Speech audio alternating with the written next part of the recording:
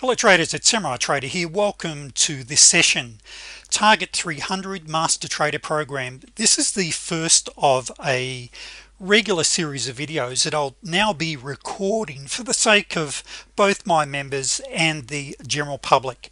And in these recordings I'll be recapping various trade or trading opportunities that we had on various markets. I'll be giving you a whole lot of tips and ideas and it's also going to act as a newsletter for our members.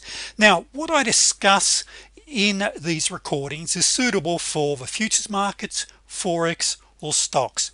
Now very very important traders is that uh, please get your notebook and pen out because I will and actually I promise you I'll be giving you some real practical ideas that you can begin to use immediately.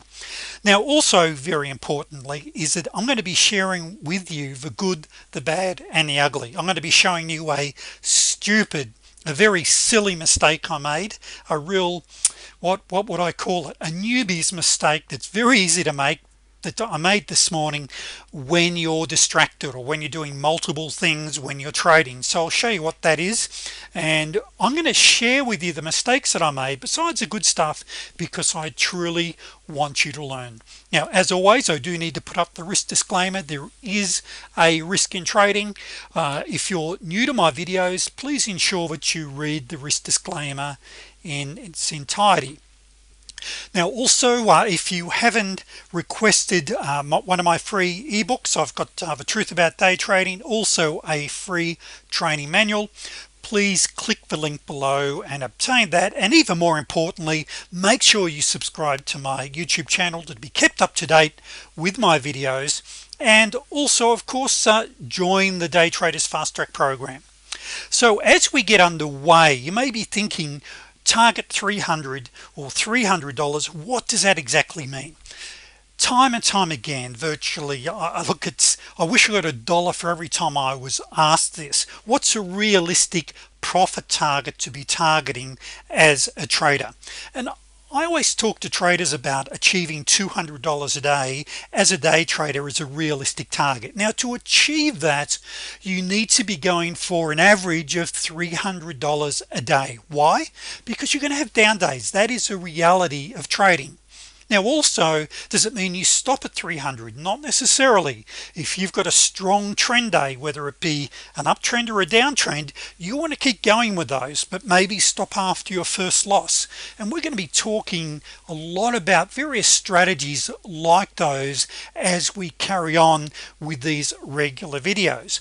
Now if you haven't seen this table uh, before you let me just quickly run through uh, this. Now irrespective of what market you're trading stocks futures or Forex let's just assume here that you started off with a capital of $5,000 and you average 200 net at the end of a week. That is one sorry net per contract. That is $1,000 at the end of a week trading one contract. In 10 weeks you've doubled your money and you start trading two contracts and you increase that over a period of time. Now what we can see down here is that uh, let's just take a 10 week period. Uh, actually we'll jump up to 16 weeks okay? It's 16 weeks at $200 a day per contract you're earning $10,000 per week. Now I believe that a poor man or woman is not a man or woman without a cent but it's a man or woman without a dream. You've got to have a compelling future. You've got to have a target. Now your target may be 100 a day. It may be 300 a day net per contract. Whatever it is you need to have a target. So I really want you to start to set and to really jot down what is your daily target. Now also I've had a member email me recently about this statement. I said it without putting it up. He said can I repeat it? Well it's he who sweats more in training bleeds less in war. And of course the fitter you are the more less the more um, uh, less likely you are to be injured. And of course when it comes to trading it really comes down to mastering your setup spending a time back testing traders take your time. Do not go live until you've mastered your setups uh, in simulation. Just absolutely quick. I know this some of this is going to be basic stuff but as I go through a series the way I look at this trade is if you can pick up just one idea from every session that I run it's all been worthwhile. Just that one idea may change your trading career. And that's where really um, you know you you'll hear me talk about that the sign of an intelligent person is how open they are to new ideas now I'm not saying don't verify the idea. By all means verify the idea through back testing but at least be open-minded. You know that's what trading is really all about. Now in my program the day traders fast track program I now teach over 15 strategies.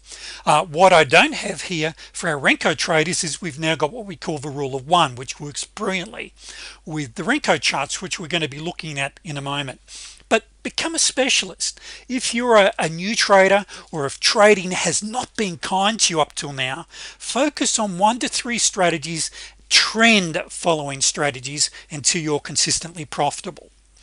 Now another question I've received uh, is about the wolf wave. Now many of you have heard me talk about the wolf wave and actually in the book street smarts Linda Raschke talks about this the wolf waves strategy and what she states let me quote her out of a book. This particular methodology is perhaps the most unique effective trading technique I've ever come across. It was developed and shared by a good friend Bill Wolfe for the past 10 years has made a, a living trading the S&P so this is going to be our first tip of the day now the wolf wave you can google and there's a ton of material uh, on the internet about the wolf wave but it does take uh, a period of time to get used to. Now for a wolf wave in a downtrending market you need to have these three touch points. In an uptrending market the same thing. Okay so once again uh, I'm not going to really go into it in a great deal in this particular session but it's a fantastic strategy and what it really is it's a rising or a falling wedge. But what makes it unique traders is that with the wolf wave it gives you a projection of where the, the market is likely to go from the various touch points. And it's just a brilliant strategy and what you'll find here is that you've got a projection from here going through up to here and I'll show you a case from today uh, on gold. Now it's not difficult it's just a little tricky but because it's a rising or a falling wedge it's a great uh, strategy or a great pattern to be drawing in as you trade. Okay because a rising wedge or a falling wedge basically if I can put it this way what we've got here is the market is coiling. It's like a spring. We're getting ready for a breakout. And so the tide of a market gets here we know that it's going to break one direction or another. So when you see this sort of pattern irrespective of whether you trade the wolf wave using that methodology or not it's a great it's it's really a great pattern to learn. And we'll discuss this in further sessions. We'll talk more about fractal trading but when you draw your trend lines using fractals it also makes drawing these patterns certainly a lot easier. So let's now go and jump on to the charts and I want to show you a few things. First of all I want to show you a major mistake that I made uh, during the Globex session uh, trading today. So this is after the market close so the majority uh, of my members are USA based and a, a, question that I have asked regularly what are some great markets to trade when I get home before I go live or before I leave my job perhaps I should say actually? Well you've got lots of action on gold that we're looking at here. Mind it can be tricky. We won't get too much into talking about risk on gold today but generally you want to have a larger trading account. You get some great moves on on oil the NQ the ES the YM now if you're trading 50 lots forget it okay? Um, it, it, is thinly traded but if you're trading one to five contracts you're going to have no problems with your fills. You might get a little slippage in a fast moving market but there's still great markets to trade. But let me show you an error and I want you to jot this down. It's a really basic error that I made that uh, cost me a great trade now first first of all for my uh, members I had a great setup. I had a 2d setup. Now for non-members a 2d is just a super reliable setup that sets up. You probably get about one every couple of hours but they're just a very very high probability. But I actually missed it. I was actually preparing the slides for this presentation. And so I on the trading DOM I actually saw this setup on gold and here it was here. So what I had at this stage and let me just show you this. I had uh, gold had opened. It had been opened uh, I think it was 22 minutes for Globex session. So the regular session closed. It closes for around an hour. Reopened 12 minutes or actually sorry about 22 minutes later to be exact. We had a great the trade set up at t3 we also had something else that made this a brilliant trade. What is it? Look over at our anchor chart. What can we see happening here? We can see a bounce off for 200 so I had great angulation. I had um, a great move down. I had a 200 bounce. It was a beautiful trade. So I went to execute the trade. But I thought I was looking at CL in actual fact this is the gold chart for GC so on the trading DOM I actually executed uh, the trade on CL and I went long. Now I straight away um, I realized I'd made a mistake. And so what do you do when you make a mistake? Well there's a couple of things we can do of course is do nothing and hope and pray or we can exit the trade one of my trading rules is that should I ever make a mistake is to exit the trade. Develop the discipline. So I exited I got out of a trade at break-even so it cost me basically commission of around $20 on five contracts. Now yes it went up and uh, I actually could have picked up four to five ticks because it actually it hovered around this area for a while then it ticked up before it rolled over and I actually shorted this one as a rule of one and we'll talk about that uh, in a moment. But here I decided to get out. Now why was it a silly mistake? One I wasn't focused. I was doing multiple things. And you know once again there's an old saying traders the teacher is the one that really has to learn. And it was a silly mistake preparing PowerPoints and you know look it's just so easy to do. So if I make this mistake I guarantee the majority of traders are going to do it probably twice as much as me. So just be aware of that. So double check your charts. Check your DOMs. Check the amount of contracts you've got on there.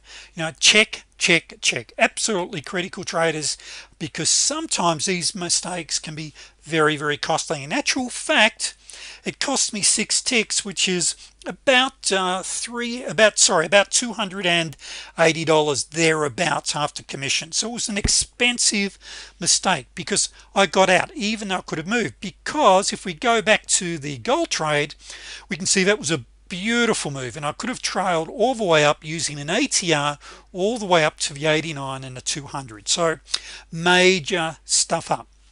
Now before we go back and we have a look at the other CL trade what I want to point out here is this potential wolf wave.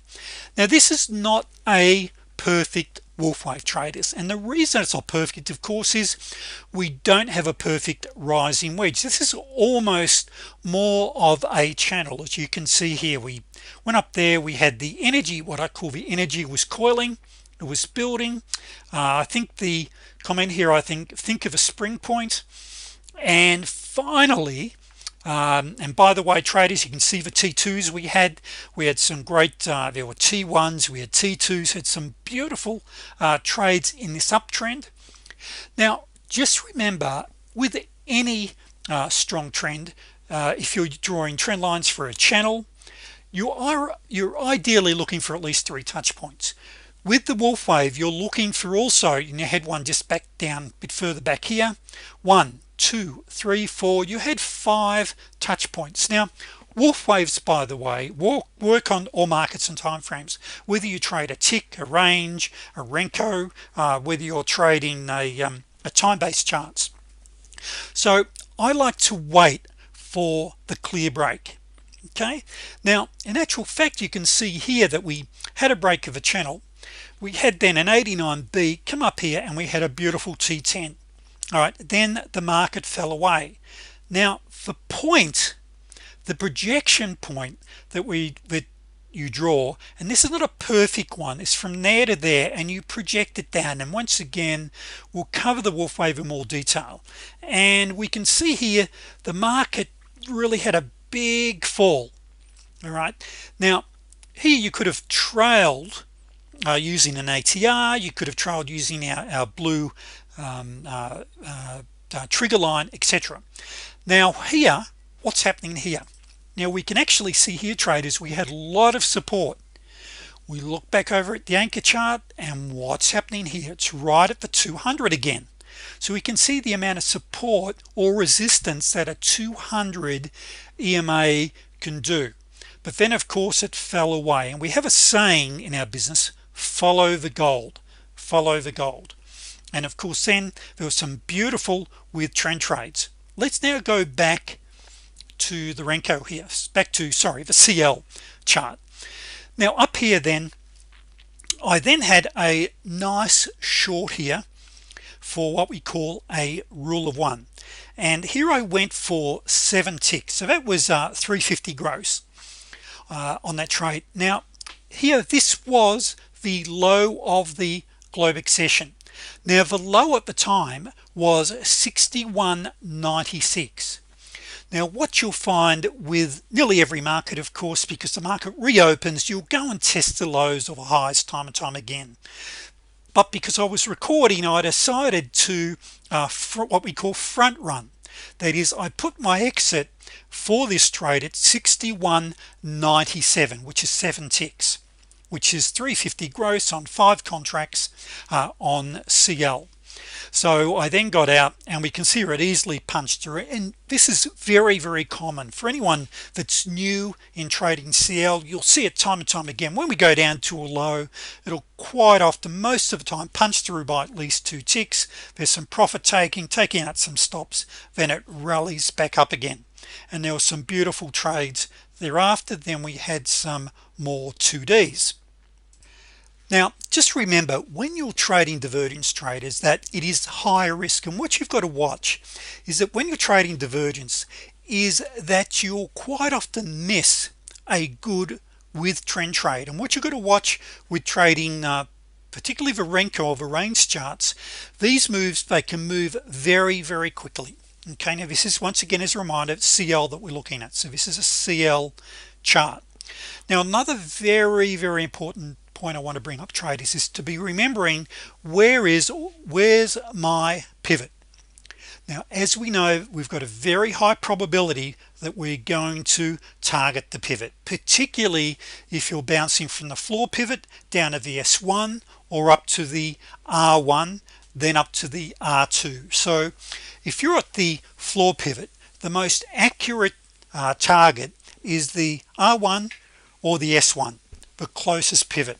Very very high percentage trade. So when you start to see the market turn and particularly when you see that you're fairly close and we've got a, a market turn we've got a nice t20 here then we know there's a very high probability that we're going to hit the pivot.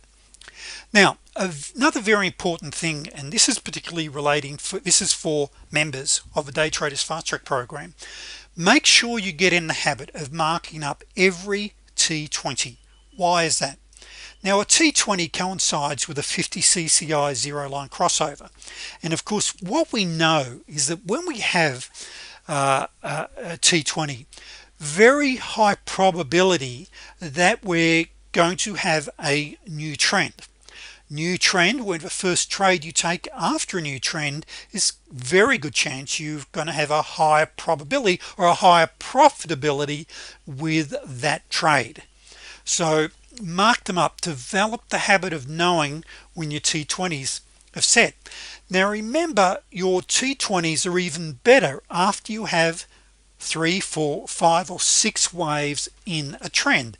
Why is that? Well we know after we have a number of really good waves. We've got a um, uh, basically a greater probability of a good market turn.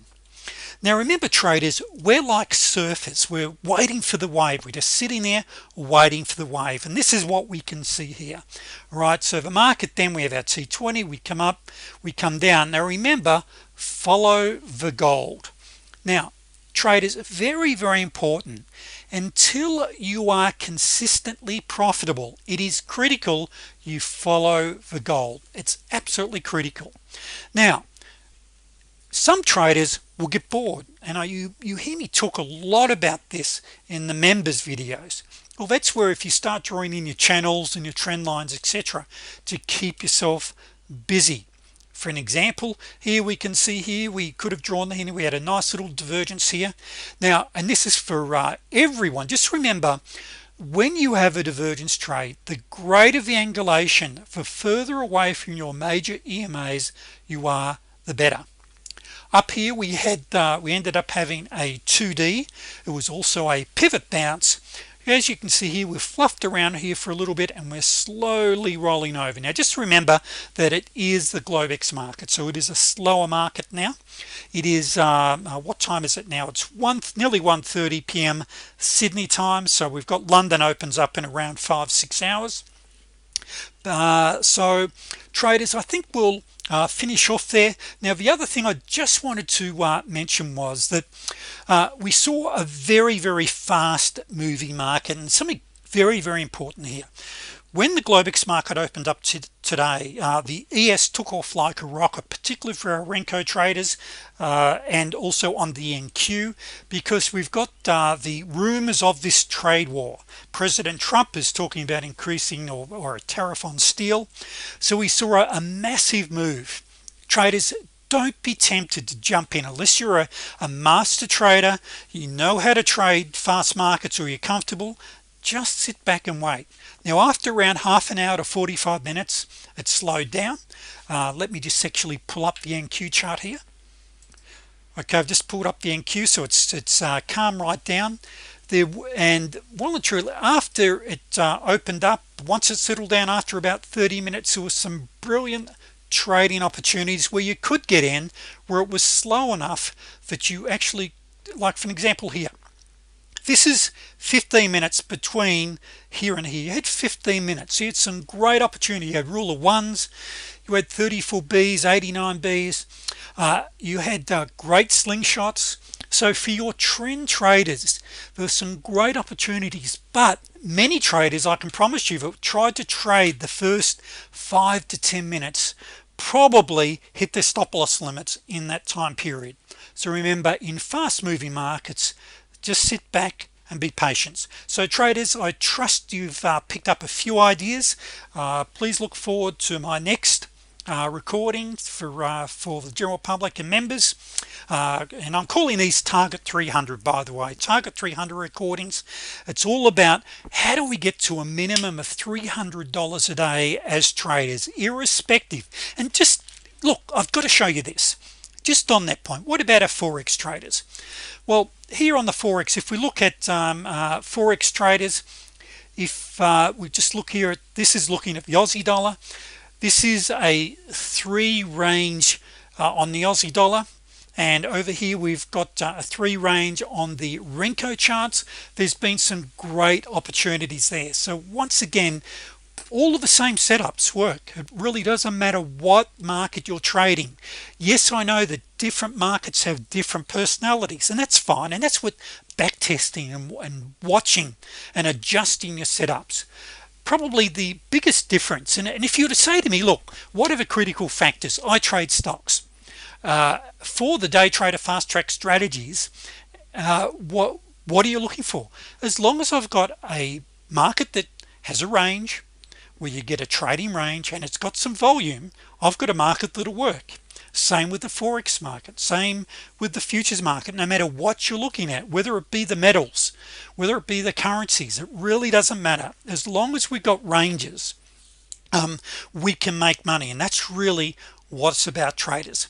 So traders uh, that's enough. We're 25 minutes into this recording. I'll uh, will email you automatically the next video in this series. Thank you traders